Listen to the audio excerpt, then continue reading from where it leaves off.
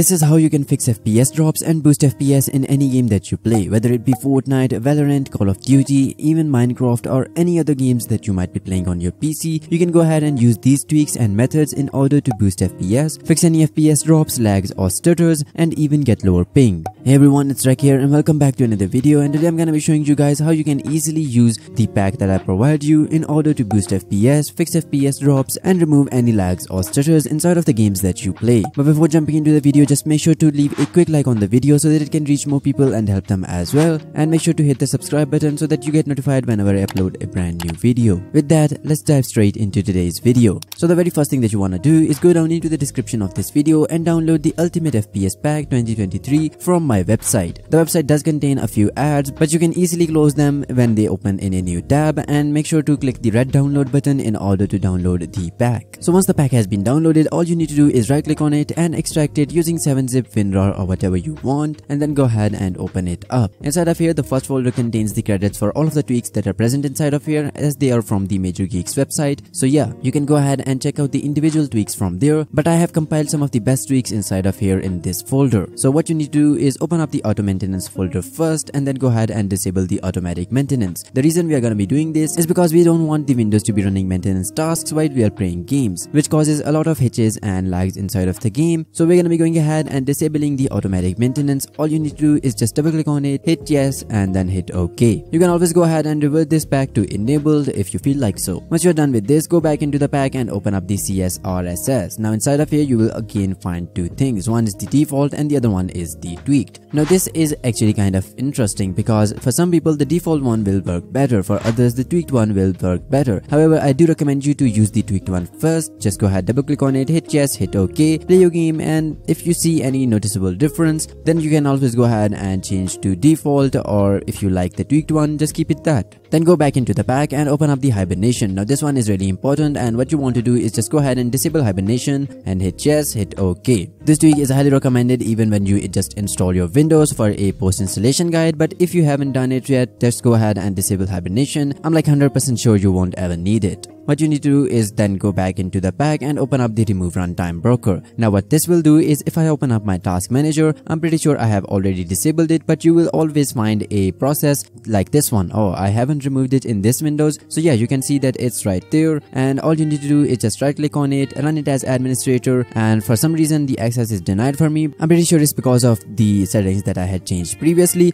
But if I open up the task manager, you guys will see that it's no longer there. It has been removed from here even though it did say access denied but it does close the process so yeah it's going to go ahead and free up some of the cpu usage as well as increase a little bit of the windows performance so go back into the pack once more and open up the screensavers. This one is pretty obvious, just go ahead and disable screensavers. I don't know if you guys even use them these days, but it's just always handy to have them disabled. Go back into the pack and open up the task manager one. Now this one is really interesting because you only want to disable task manager if you have an alternative. You can always go ahead and search the task manager alternatives online and they are much better than the Windows task manager that comes pre-installed with the Windows. So yeah, just go ahead and disable task manager. Since I'm not using any alternative. I'm not gonna go ahead and do it right now. But yeah you can always go ahead and look up the alternatives to task manager and then disable it. Going back into the pack once more open up the user account control and just go ahead and disable the UAC hit yes hit ok it will not only disable that confirmation box that pops up when you are applying some changes but it will also disable the restrictions on some of those changes. So I highly recommend you to go ahead and disable this one then go back into the pack open up the Win32 priority and there is only one that is 26 hex because this is the one that will generally work best for most of the people now I do recommend that you go ahead and test different ones out and find the best one for yourself. But if you don't have the time for that then just go ahead and apply this 26 one and it's going to work the best for most of you guys. Then going back into the pack once more and opening up the Windows ads and we're going to be going ahead and basically just disabling all of the advertisements inside of the Windows. So yeah, just double click, hit yes, hit OK. Then go ahead and do the same thing for the Windows and disable most of the ads. Hit yes, hit OK. And you can always go ahead and check what's inside of these registry files by just right clicking on them, clicking on edit. So as you can see, it's going to disable the silent installed apps. It's also going to disable the system pane suggestions, the sync provider notifications, soft landing it will be disabled. As you can see the D word is zero. Rotating lock screen enabled will also be disabled and then there will be the rotating lock screen overlay that will also be disabled and the subscribed content will also be disabled. So once you are done with this, go back into the pack and go into the final one that is Windows Tweaks. Inside of here, you will find the clean temporary files.bat. Just right click on it, run it as administrator, press any to continue, and then it's just gonna go ahead and delete all of the temporary files that are no longer required by the Windows. You can go ahead and press any key to continue, and then there is the disable delivery optimizations. These are gonna mostly help you with the network and the ping. So just double click on it, hit yes, hit OK, fix mouse precision. So what this will do is basically it's a shortcut to the mouse settings that we generally do with the pointer precision. So yeah, just double click on it, hit yes, hit OK, and you can always go ahead and once again click on edit to check the credits as well as what this actually does. Then going into the full screen fix, once again it's going to enable the exclusive full screens. So just double click on it, hit yes, hit OK, and unpark all CPU cores. What this is going to do is make sure that none of the CPU cores are parked. You can always go ahead and use other softwares, but this is just a quick registry file to do the same thing. So just double click on it, hit yes, hit OK, and now that you're completely done with the pack, you can go ahead and delete it or even keep it to uh, revert any of the changes that you might want to go ahead and revert in the future. So yeah, that's basically gonna be it for this video. If this helped you in any way, shape or form, then make sure to leave a like down below so that it can reach more people and help them as well. Make sure to hit that subscribe button along with the notification bell so that you get notified whenever I upload a brand new video. But with that, I guess I'll see you guys in the next one. Until then, stay awesome.